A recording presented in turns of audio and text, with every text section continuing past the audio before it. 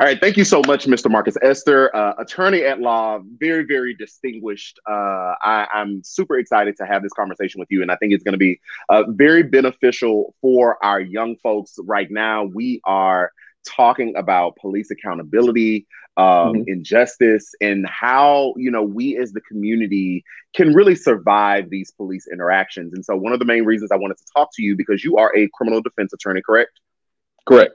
And so you you you operate in the legal system, right? Your clients Absolutely. have had yes. interactions with police for various reasons uh, that leads them every day. That leads every them day. to your front door. Mm-hmm. So you are yeah. the perfect person to to kind of help us walk through this. So I just want to say again, thank you so much for being here, uh, and I'm pretty sure the audience uh, thanks you as well. Thank you for having me, Quinn. I love it. Love it. Yeah. Anytime I can, you know, share my wisdom, I'm always there. So thank you for having me. Absolutely, absolutely. So let's just hop right into it. So, uh, based on my mm-hmm. last conversation that I had with the police officer, um, we really discussed this notion about compliance. Uh, the, mm-hmm. the, the the premise of the whole conversation was, you know, even if a cop is being uh, irate or rude or you know whatever the case may be, the word that you really need to keep in your mind, although it's not, uh, it may offend you, is to comply. Mm-hmm right? Mm-hmm. What right. what do you say to that? Because um, right. we got some young people listening who was like, "Well, I don't I don't want to be harassed by the cops. Sometimes they're mm-hmm. bothering me. You know, they don't know everything that's going on. Why do I have to comply uh, when I didn't mm-hmm. do anything wrong?" Right, absolutely. So let, let me let me try to break that down. Um, so first, I've handled numerous criminal cases. That's pretty much all I do. And of course, every criminal case starts off with an arrest or some interaction with an officer. And so, you know, we try to tell people, hey, comply with the with the cop. And comply just means if they ask for your name, give it to them. If they ask for your driver's license, give it to them. And then you have some of my clients who said, oh, well, you know, I don't want to comply. I don't have to do this. I know my rights. Nothing you can do in that situation can make that encounter better. It can make it worse, but nothing can make it better. Or you can just keep it the same. And so, in order to just keep it the same, if you have your driver's license, uh, pull it out let's say you're driving a car and an officer stops you, you see the lights, have your driver's license ready, insurance. You need that. Um, if you don't have your license, hopefully you have a picture of your license. If you don't have either of those, they can hit you with another charge. So in addition to whatever they stopped you mm-hmm. for, you can have a charge of failure to ID, um, invalid license, all kinds of stuff. So to prevent all of that, comply by saying, "Hey, this is my name. I have this. I have that." You don't have to do anything else. That's it. Yeah just your name, ID yourself, and that's now, that's now pretty you, much yeah. You referenced the car. What if what if uh because some of our, our, our, young folks watch it, they may not have cars. They may take public mm-hmm. transportation. Mm-hmm. They may be walking. Mm-hmm. Um, mm-hmm. what is is the standard still the same if they're walking with friends or by themselves and a cop decides to engage with them for various reasons? Yes, so it's still the same. It's still the mm-hmm. same on the front end. Like I said, nothing you can do with the police encounter can make it better, can make it worse. Mm-hmm. Pull out your ID. If they say, "Hey, stop right mm-hmm. there," stop. Um, do you have any ID? What's your name? Tell them your name. Give them your ID. Now we can take care of everything on the back end. So if the cop mm. just stopped you just to mess with you, we got that in the courtroom. But we need you to do, you know, everything you should have done, which was pull out your information, give them your name. Mm-hmm. I've had in particular, there was one situation where there was a young black man. He was in front of a um, convenience store. He had just went in to purchase uh, something to drink, something to smoke, and like a bag of chips. He walked outside. There were two officers across the street watching the store. They had been watching the store the whole day, and um, the white officer got out the car, went up to the crowd because he was standing out there and was like some other guys. Now I don't know if he knew those other guys that were out there. He just went in the shop, came out, started smoking, and then an officer ran up on him, was like, "Hey!" Then my guy took off running. He takes off running. Um, as he's running, he throws the gun out, and then the cop stops him. I say mm. all that to say it because we were able to get that portion suppressed because the officer went up there and just started messing with him. The right. guy said, "Hey, this this is who I am," and then the officer tried to come after him. He took off. The officer had no reason to chase him. You mm-hmm. can they can ask, you know, who who who are you? You have to ID yourself.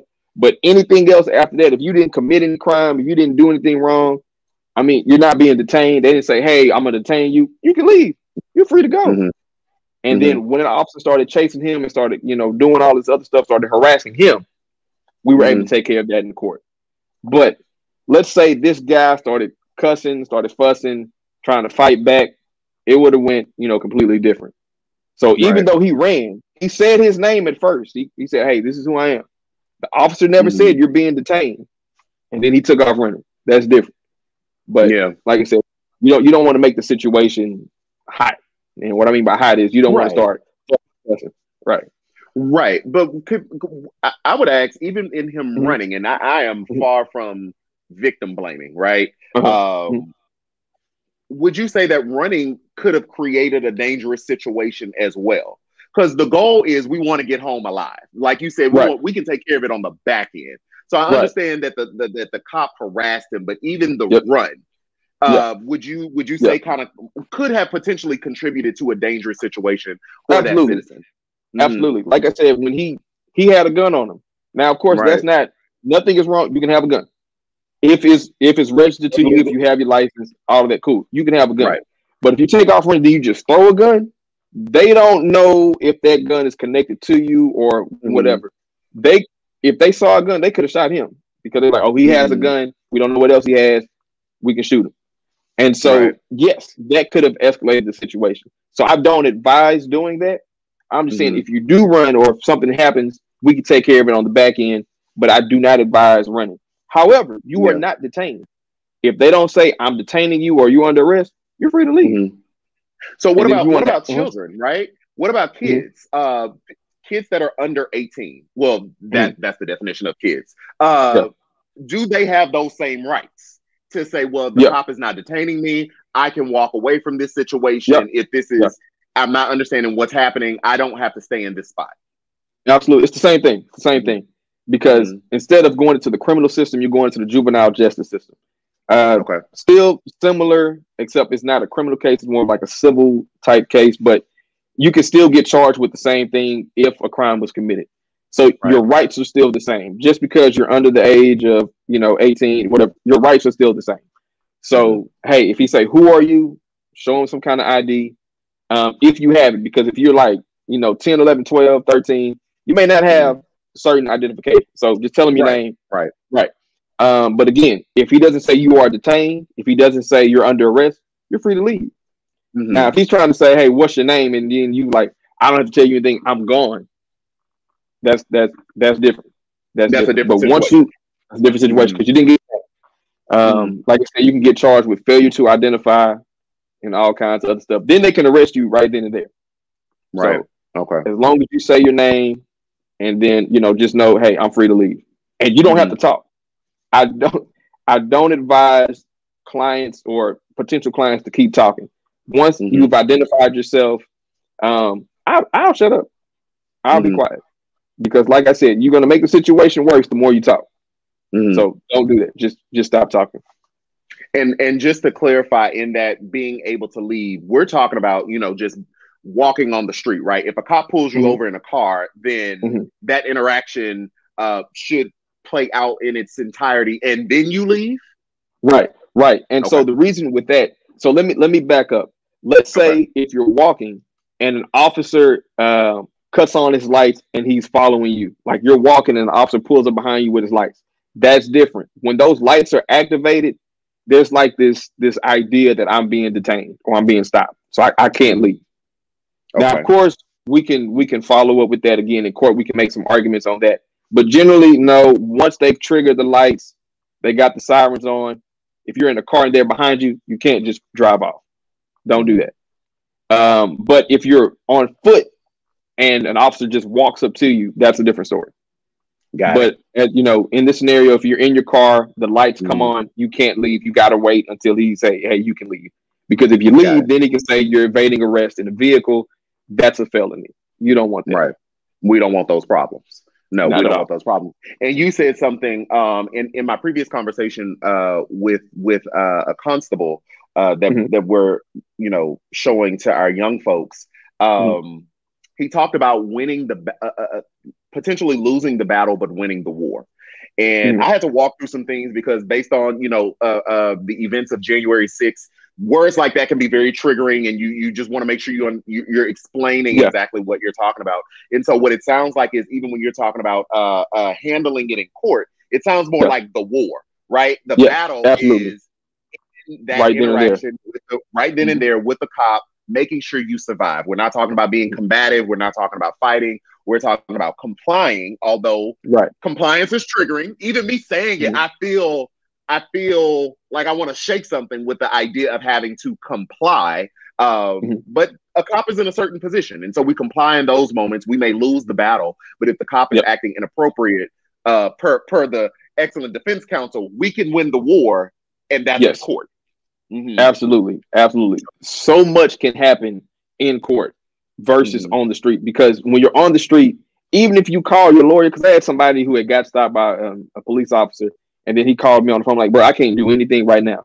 That officer right. had unfortunately has all the power in the world, so you need to do right. what he says because if you if you start trying to punch him, try to fight him, try to drive off, those are additional charges, and I mm-hmm. can't beat those because right. you know they're on camera.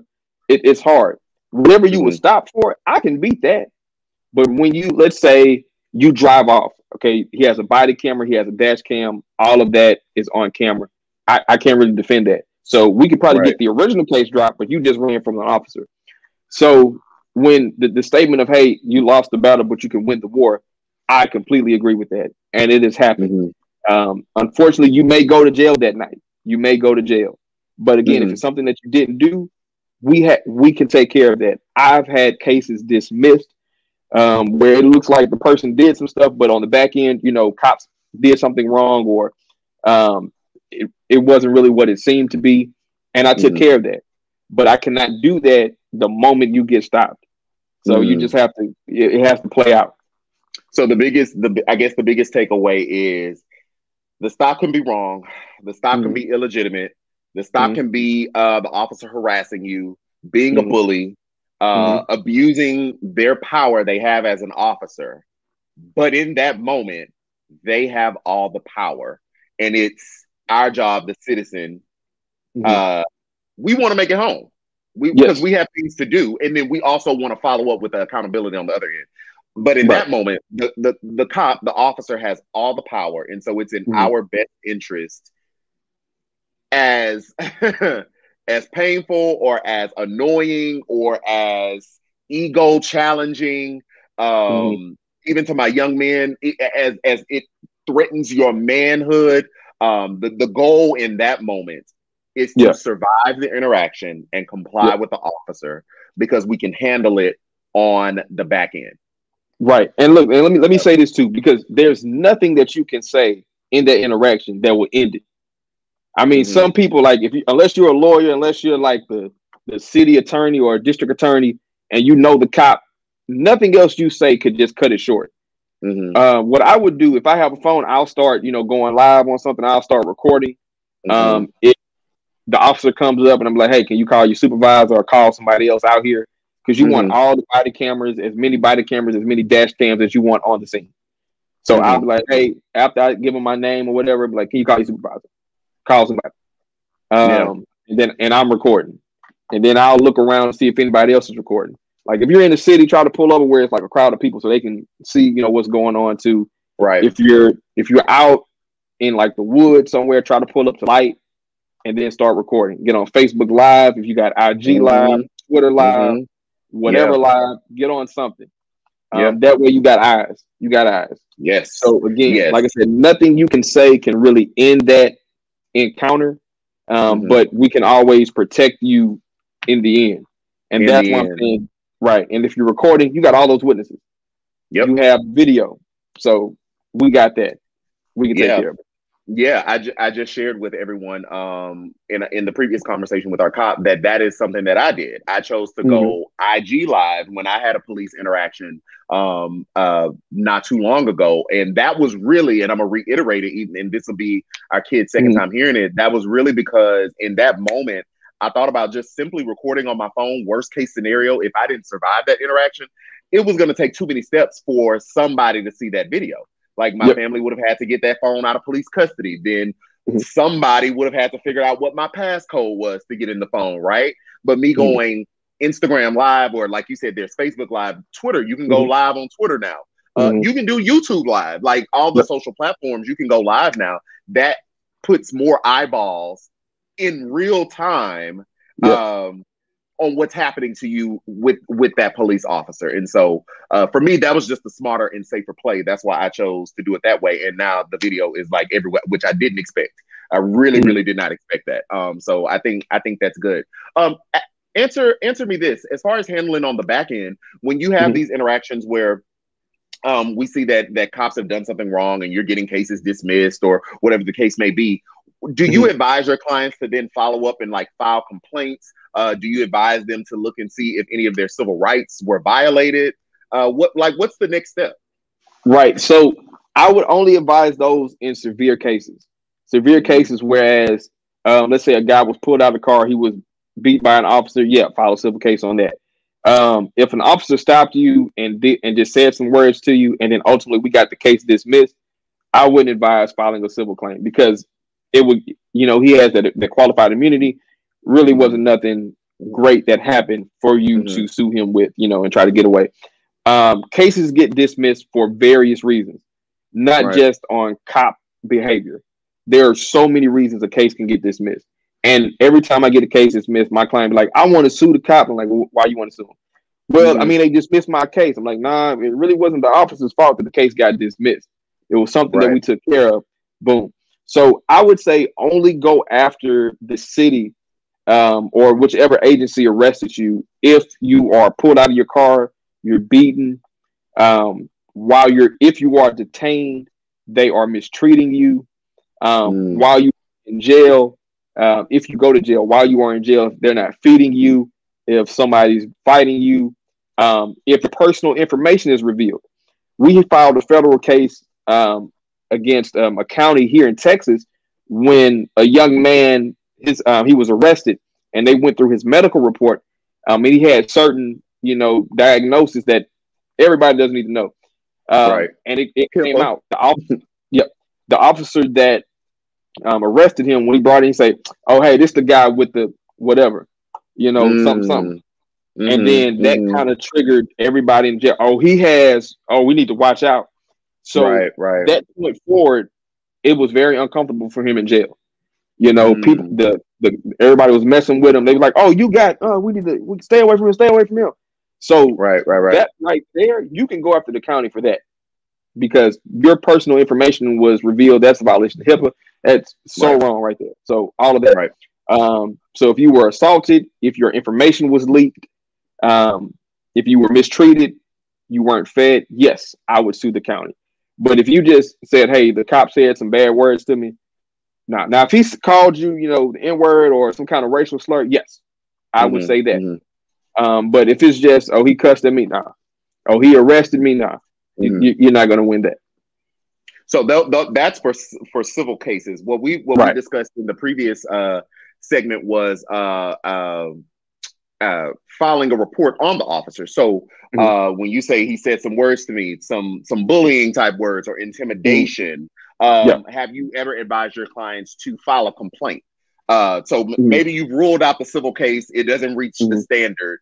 Uh, right. But maybe the behavior of the officer was inappropriate, and so right. um, have you advised them to do that? Yeah. So I, in some cases, I have. Um, most of the time, before the case even gets to me, they've already done that. So by the time it gets me, they're like, "Hey, I filed a complaint on this guy." So yes, I advise that. Why? Because then later down the line, let's say we go to trial, um, we'll have that complaint. And then usually that isn't the officer's first time saying whatever he said to you to somebody else.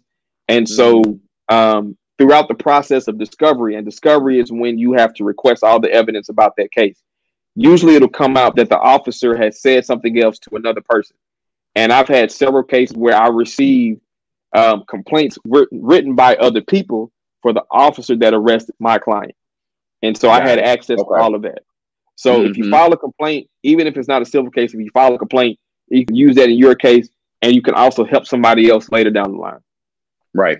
Right, absolutely. You mentioned qualified immunity earlier when we were talking mm-hmm. about this civil case. I'm gonna just actually flat out. What are your thoughts on qualified immunity for police officers? So it it sucks It mm-hmm. sucks because you know if an officer an officer could say, "Hey, I was doing my duty. Um, I pulled him out of the car. I didn't mean for him to get scratched up, beat up, or whatever. I was just doing what I need to do. I thought he had X. Okay, cool. He's protected because he's operating in his his his um his role as a police officer. Mm-hmm. So I hate that it exists and it prevents certain civil cases from being filed against police officers or any elected official because it's not just for police officers. Right. Mm-hmm. Even though we just kind of focusing in on officers, it's for any elected right. official. Mm-hmm. So, you know, or any government official. So I hate that qualified immunity exists. Um, and in certain situations, if it didn't, you know, all kinds of cases will be against police officers. So it kind of protects certain elected officials from I, I, like the low level uh, mm-hmm. complaints. But as a defense attorney, you know, someone who has seen his some of his clients uh, mistreated, I hate it because I say, yeah, you can go ahead and file a case against the police officer. I won't do it because I know it's not going to go through. But if you find somebody who's able to push it through, that's good. But I just mm-hmm. hate that um, it applies to certain police officers.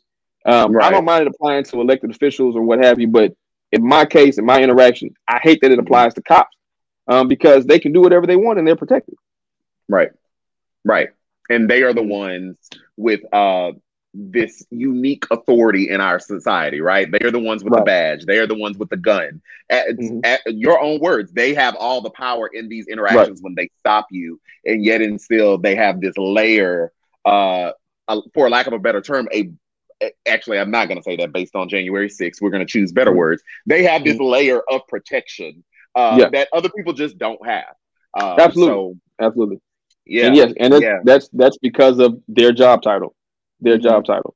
Now, yeah. let me also say this to to the young men who are watching, young men and women, whoever is watching, do not, you know, don't don't rely on stuff you see on the internet. Because I know there's some people when they have interactions with officers, they be like, I know my right according to section such, such, such, such. You can't arrest me. You can't do this. That's a violation of code 42. Don't do that. Because I was watching, you know, some body cams for my clients and they tried to be, you know, big and fancy and they started reciting codes, but that was for another state. It had nothing to do with Texas. Oh. So, you know, people will mm-hmm. see something on Facebook, on Twitter, on IG, and they'll think that's the law here. Every state is different. Every county right. is different as well. So don't mm-hmm. just start reciting stuff if you don't know it. Like I said, the right. best thing to do is just be quiet. Give them your name. Shut mm-hmm. up after that. Right. Right. That's good. That's good. I think that's a, a great note to end it on. Uh, Marcus, I am uh, so very thankful that you joined us and dropped uh, gems and knowledge uh, for us as we continue to work through mm-hmm. just what what this what what it's going to look like as we move forward, as we push for you know police accountability uh, and and safety in our yes. communities. Um, because I'm on I'm me personally I'm on the side of we need cops. I, I mm-hmm. am never gonna say we don't need cops because there are real bad people out there, right? Yes, like, absolutely. No, absolutely. when I call 911, if it's going down, I need the police to be there. Yes. What I don't yes. need is when you get there, you treat me like yeah. the criminal. When I'm the law abiding, tax paying citizen. And to my young folks watching, you being the law abiding, tax paying, although maybe not uh, uh, uh, certain taxes that older adults pay, but you're paying taxes mm-hmm. on goods and services, which ultimately yep. finds its way to our governments on the local, state, and federal level. Uh, mm-hmm. So we are all law-abiding, tax-paying citizens that just want to be yep. treated fairly, equally, uh, with with with care, dignity, and respect. So, yep, yeah, I'm just thankful that you are here uh, with us to to give us that. Thank you so much for having me, man. And like I said, if I could just end it on, you know, just um, if you guys need anything, please don't hesitate to reach out to me. Uh, my IG is right there. You can send me a message on IG. Um, you know, if you have any questions, if somebody you know got into it with the law or you know had an encounter and they just need you know answers, um, I got you. So please don't be afraid to reach out. That's wonderful. Thank you for for offering that to to us all. Thank you. Mm-hmm.